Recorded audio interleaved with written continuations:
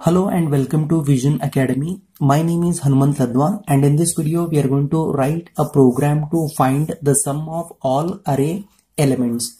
Let us write the preprocessor directives hash include stdio.h hash include conio.h void main function and curly open brace and here we are going to declare all the necessary variables which are required and to be used in a program. And here I'm going to use the data type int and array a of size 10 comma i sum is equal to uh, 0 and here I'm going to write n. And now we'll write printf statement and here in a double quotation mark we'll ask the user how many elements.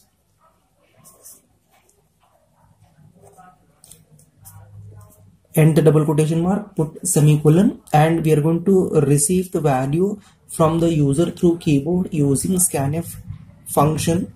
And in a double quotation mark we'll write the format the specifier percentage d end the double quotation mark comma ampersand of n and put semicolon now we are going to enter the elements one by one using printf statement. Here we are going to display the message to the end user to enter the elements.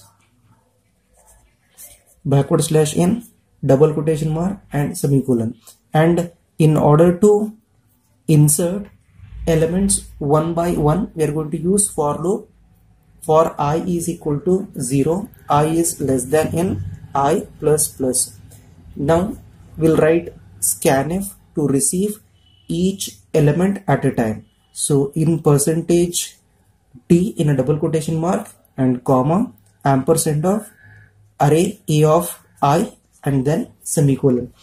Once again we are going to use for loop for i is equal to 0 i is less than n and i plus plus. Now we are going to perform the sum. That is we'll write sum is equal to sum plus a of i and put semicolon. Now let us print the value stored in this variable. That is sum. In double quotation mark we'll write sum is equal to percentage d and here we'll put end the double quotation mark comma and write the variable sum and semicolon. Now we will write get ch function and then we'll curly closing brace. Now let us take an example. Here i'm going to write output.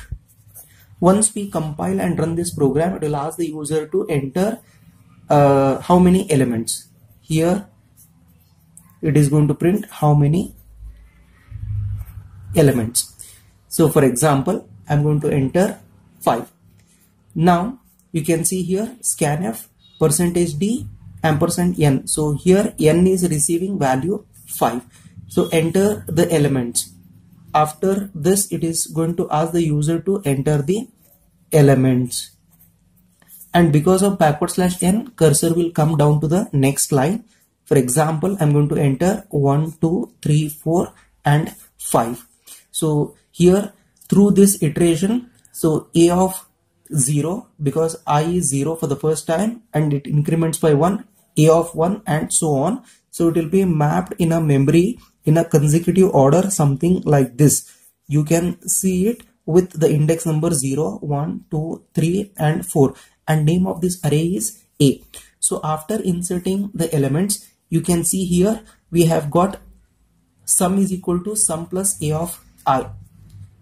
Now let us perform this particular step. Here we have written for i is equal to 0 means a of 0 a of 0 consisting of what? 1 sum is for the first time it is 0 so how exactly it is going to calculate? Sum is equal to sum for the first time 0 plus a of 0 is having value 1 0 plus 1 is 1 so this one will be stored in a variable called sum again control transfers back to for loop by incrementing the value of i by 1 now i is equal to 1 again we are going to perform this particular step because 1 is less than or equal to 5 because n value is 5 so hence it is true. Once again this particular statement will get executed. Sum is equal to sum. Now sum value is 1 plus a of 1 a of 1 consisting of what? 2 so 1 plus 2 is 3 so 3 will be stored in sum.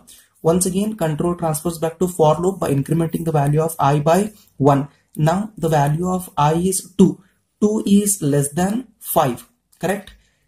Yes it is true. Once again this particular statement will get executed. Sum is equal to sum is now 3 plus a of 2 consisting of what?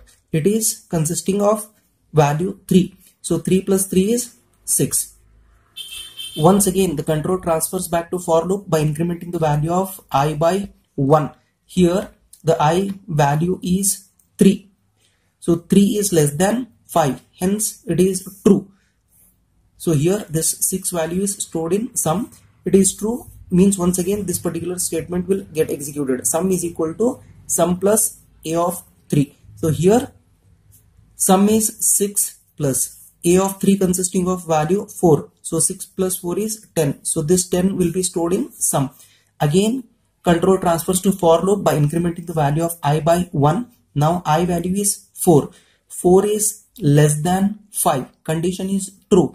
Hence, it is going to execute this statement once again. So sum is equal to sum plus a of 4. So here sum is 10 plus a of 4 consisting of value 5. So 10 plus 5 is 15. So this value 15 will be stored in sum. Once again control transfers to for loop by incrementing the value of i by 1. Now i value is 5 less than 5. So i is less than 5? No, condition is false once the condition is false this particular statement will not get executed so control directly comes out of the looping structure and it is going to print the next statement so here you can see we have got sum is equal to percentage d and sum. What is the value stored in sum? 15 so it is going to display 15 let us execute this program. For that i will take you to my laptop screen. Here you can see I have already uh, written this program in Turbo C++ compiler to save your time. Now it's time to compile this program by pressing Alt F9. Here it is showing success means there is no syntax error. I'll press enter and now it's time to run the program by pressing Control F9. Here it is asking the user how many elements. Here for example I'm going to enter 5 and then I'm going to enter 1, 2, 3, 4 and 5 elements and now I'm going to press enter. So here you can see it is showing sum is equal to 15 by adding 1 plus 2 is 3, 3 plus 3 is 6, 6 plus 4 is 10, 10 plus 5 is 15. I hope you understood. If so, please write in a comment box understood. Thank you.